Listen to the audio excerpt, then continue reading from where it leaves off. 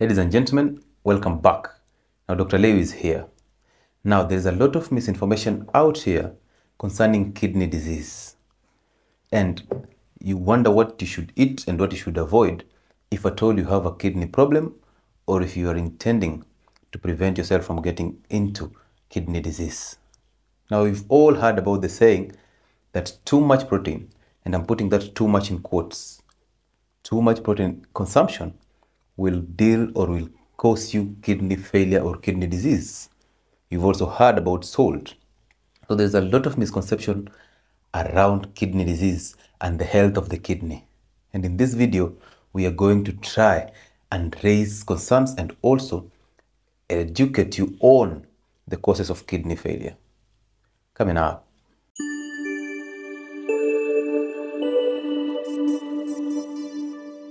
Now, here are some or the major causes of kidney failure or kidney disease. Those who have polycystic kidney disease are also going to benefit from this video because they go hand in hand. The causes and the management of kidney disease and the polycystic kidney disease are the same. So, number one on the list is chronic hyperglycemia, which basically means a prolonged increase in blood sugar levels. Now, we all know that blood, uh, high blood sugar levels destroy the nephrons in the kidney, and nephrons are the functional uh, cells or functional units of the kidney. They perform all the kidney functions, and therefore, if you start altering the functions of the kidney at the nephron level, then generally you are affecting your kidneys. So, sugar destroys nephrons, and that's the reason why diabetic patients go through a condition that is called diabetic nephropathy, just to mean destruction of the functional unit of the kidney, which is called the nephron. Okay. Now, if you want to get out of it, or if you want to prevent this, then definitely you have to lower your carbohydrate intake because the carbohydrate intake is the one that takes blood glucose levels to a higher level, and chronic consumption of dietary carbohydrates will again lead to chronic elevated blood sugar levels, and this will cause you kidney problems. Number two on the list chronic elevated blood insulin levels. So, prolonged hyperinsulinemia is number two reason or number two cause of a chronic kidney disease or kidney disease in general, be it acute kidney disease or chronic kidney disease. Now, unfortunately, drugs that are used to treat diabetes, they either increase production of insulin or increase sensitivity of insulin to the cells. So that once it is once the cells are sensitive then this insulin can assist in pumping this blood sugar into the cells for it to be utilized as energy. Now if the cells have undergone cycle and a, a process called insulin resistance because of excess intake of carbohydrates then definitely you start having rising amounts of insulin in the system. And this is also associated to this drugs that we use for uh, management of diabetes because they're supposed to increase your insulin levels. So definitely once they increase pancreatic production of insulin or once they raise sensitivity of insulin in blood or in the cells, then definitely that production of insulin from the pancreas causes a hyperinsulinemia. So if you're using these drugs for a long period of time, then that means you'll have chronic hyperinsulinemia. We talked about hyperinsulinemia and its effect in some video in, on this channel. However, we will remind you that hyperinsulinemia is also a cause of kidney uh, failure. So if you continue consuming carbohydrates over a long period of time and the drugs for diabetes, then definitely you get into hyperinsulinemia and that will cause a kidney problem. And how does it do that? High insulin levels cause water retention and sodium retention in the kidneys. So they do not excrete excess water, they do not excrete salt, they absorb it actually. And once they do that, then you get into a situation that is called edema. So you start those swelling feet, that swelling face, and the fingers. Again, this uh, water that is being reabsorbed causes an expansion or an increase in blood volume, and this uh, causes high blood pressure. Now, you've heard about how salt uh, can cause you high blood pressure. This is the concept. So, nobody has ever mentioned about the hyperinsulinemia, which is the cause of retention of sodium. So you can imagine if you're consuming carbohydrates you already have your insulin high, so your kidneys are not excreting salt and water. So, what happens when you go ahead and eat a meal that has salt or when you add salt to your diet? Then you'll be causing a lot of water retention, and that is the reason why you have an elevated blood pressure. And therefore, it's only right that we stop telling patients that salt causes high blood pressure or salt will exacerbate high blood pressure because that is not true. The truth is, consumption of sugar, which will cause hyperinsulinemia, which will cause retention of sodium and retention of water from the kidneys, is the cause of high blood pressure, okay, or hypertension. So, sugar is the issue, salt is not the issue. Number three on the list of the things that cause you a kidney problem is uncontrolled blood pressure or uncontrolled elevated blood pressure. Now, if you do not control blood pressure, but remember also, blood pressure is controlled by the kidney. One of the functions of the kidney is to control blood pressure. At the end of this video, we will try and mention the functions of the kidney so that you relate. If you get a kidney problem, then these functions will be altered and therefore the conditions that will come as an aftermath of destroying these functions or inhibiting these functions. So high blood pressure can be caused by several factors, okay? However, if your blood pressure is always elevated, then chances of you rupturing those blood vessels in the kidney are very high, okay? And once you rupture those blood vessels in the kidney, then definitely automatically you start affecting kidney function, okay? And also this is related to uh, the hyperinsulinemia, which basically means the absorption or retention of water and sodium. So once you increase that blood pressure, then you start affecting your kidney tubules. And that is a problem too. Number four on that list has to be NSAIDs. Now, NSAIDs are those painkillers that you use all the time. You buy them over the counter. Examples are ibuprofen, diclofenac, meloxicam, naproxen. All these drugs, even the coxib, celecoxib, and rofecoxib, these are the drugs that are called NSAIDs to mean non-steroidal anti-inflammatory drugs. Now these drugs reduce renal perfusion. Okay, so once you reduce the blood flow towards the kidneys, then automatically the kidney does not receive nutrients, and therefore the ability of the kidney to filter blood starts being inhibited. And once you do that, then automatically you start affecting the function of the kidney. So those drugs, I understand that most doctors or some doctors advise you to take those drugs when you have pain, when you have inflammation, people who have arthritis. Most ladies who have hormonal contraceptives experience migraines all the time, every day and every other day. And they are tempted to buy packs of these NSAIDs. Your, your home pharmacy, we call it a home pharmacy because most of you have a pharmacy in the house. You have drugs like diclofenac, you have those ibuprofens. All these painkillers are a you aim to kill your migraines or your headaches. Those who have arthritis know that you have all these painkillers and you use them for a long period of time. But what you don't know is you are affecting the perfusion of the kidneys and therefore you start killing your kidneys.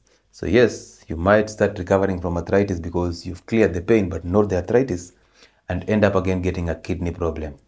So, you're not solving the issue. Actually, the best therapy is in what you eat and not in treatment of the symptoms. We've said that here over and over again.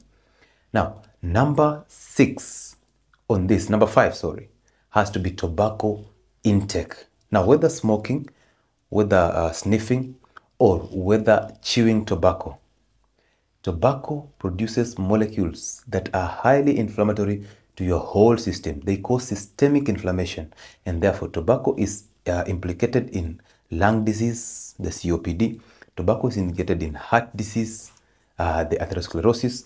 Tobacco is in all inflammatory conditions that you go through because of systemic inflammation. And these molecules hurt your kidneys directly. They cause inflammation in the kidneys, and therefore you'll get into acute kidney injury. And as it progresses, you get into chronic kidney disease, and that is a kidney failure. So you start going for those dialysis, and they are very expensive. So if you're on tobacco use in any form, start tapering that down start winning it down slowly and get rid of that thing completely. Tobacco is harmful to your health. It is actually implicated in more than 90% of health conditions. So avoid tobacco by all means. Number 6 alcohol. Chronic alcohol intake and excessive alcohol intake for that matter. Now, alcohol, apart from it causing inflammation like uh, pancreatitis, like gastritis, alcohol, first of all, it's estrogenic and therefore it will cause you an addition of weight. Now, once you get into weight addition, that fat is highly estrogenic, so you'll keep on adding weight. Then again, you will start getting into insulin resistance and therefore hyperinsulinemia. And as our number two, a cause for kidney failure, we mentioned chronic elevated insulin levels, which is hyperinsulinemia. And that causes water retention, that causes uh, kidney problems. So once you get that, you'll get into hypertension, you get into kidney problems. And once you get a kidney problem due to alcohol intake, it is hard for you to reverse hypertension. And you'll realize that most people who take alcohol have a pot belly. They have uh, this ascites because they have a liver failing already. They also have a pancreas failing. Now they have a kidney failing. So that is multiple organ damage. And therefore death is looming. So start also winning down alcohol in all forms. Some of you tell me that spirits or uh, uh, whiskey is better than the beer. What I tell you is the only difference is the percentage of alcohol. Alcohol is alcohol regardless of the percentage. Okay? And then number seven on the list has to be oxalate consumption. Now there are so many foods that contain oxalates and we all know, or if you don't know, get it from me, that kidney stones, the, the, the major cause of kidney stones or the major type of kidney stones are the calcium oxalate stones. Now most doctors focus on the calcium part so they tell you to avoid or limit calcium. But nobody's talking about the oxalates because calcium, again, can be combined with phosphorus to just be deposited in bones to give you healthy bones. However, the culprit here is the oxalates. Now, these oxalates are in several foods the nuts, the cereals, okay, the processed foods, almonds, and all these foods, even soy products, those whey proteins that you consume uh, in the gym to add muscles, they have these oxalates and therefore accumulation of these oxalates within a period of time, a long period of time, then it will cause you kidney stones. And what will you do? You'll go for the surgery to remove those stones. However, if you easily fix the diet, then you get into the prevention. And as we do uh, in this channel, we focus on preventive therapy rather than curative therapy or rather than management of symptoms. We want to deal with the cause.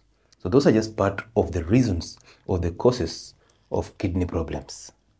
So focus on these problems, get them cleared out of your system, and then definitely you start having a functional uh, kidney. And remember, a functional kidney is very important in your health and survival as a human being. It's a very important organ because of different functions that it plays in the system.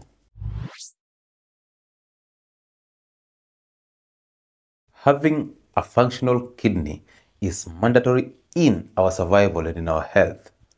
And therefore, the following are the functions of the kidney. And if you focus on preventing the causes of kidney failure that I just mentioned in this video, then you'll have maximization of this function.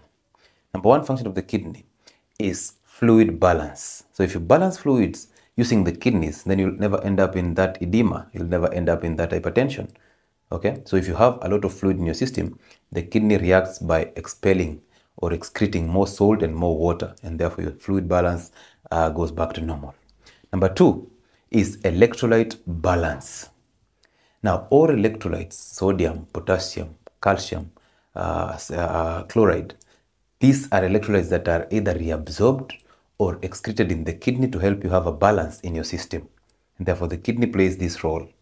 So you can imagine if you have a failing kidney, then you'll start having a defect in potassium, so you'll have heart problems. You'll have a defect in sodium, so you'll have blood pressure problems and muscle problems and even nerve problems. You'll have calcium problems or calcium deficiency, and then you'll have bone problems. Okay, so you can imagine uh, that role again. Number three role is definitely excretion of toxins in the blood. So the kidney filters blood, and if it filters blood, then means the toxic substances in blood are removed by the kidney. So Things like urea, when they build up in blood, then you might end up even in psychosis. You might end up in liver problems, even hepatic encephalopathy. And therefore, there is a function of the kidney to excrete toxic to uh, products in your system and the waste products of maybe protein uh, metabolism and other functions. But the kidney does not excrete large molecules like protein, large molecules like fat, and even glucose. So if you get protein in urine or you get glucose in urine, then that is a problem. And that's another advantage also because at least we know that salt can be excreted through the kidneys, through urine and sweat, but glucose cannot be excreted. So once you consume carbohydrates, then you will never excrete it in the body until something happens. Either you convert it into energy uh, by working out or by doing different activities or by fasting. But if you don't, it will never get out of the system. Okay, so take caution of that. Another function of the kidney is basically pH balance. So when you get into acidosis or when you get into alkalosis, the kidney has a way to balance that to take you back to homeostasis and normalcy. Okay, again, uh, in relation to that function, the kidney balances the blood pressure also in, in relation to electrolytes. So it absorbs sodium or excretes sodium depending on the amount of blood or the blood volume so that you get to balance, you don't get into high blood pressure. So of course, if you have a failing kidney, then definitely you will never be able to control your blood pressures. So they'll always be shooting. And drugs, you'll go to buy those drugs that will help you excrete more water in the kidneys, yet the kidneys are failing. So you're doing them even uh, more injustice. Another function of the kidney then has to be EPO, production of hormones. EPO is erythropoietin. This is a hormone that is involved in instructing the bone marrow to, to produce, or the stem cells in the bone marrow to produce red blood cells. And red blood cells are very important because they are the ones that carry oxygen from one tissue to another in blood. They also carry nutrients. Okay, so you can imagine if if you don't produce, if your kidney is failing, then you don't produce EPO, then you don't produce uh, red blood cells, and then you get into anemia. So anemia related to kidney failure, secondary to kidney failure.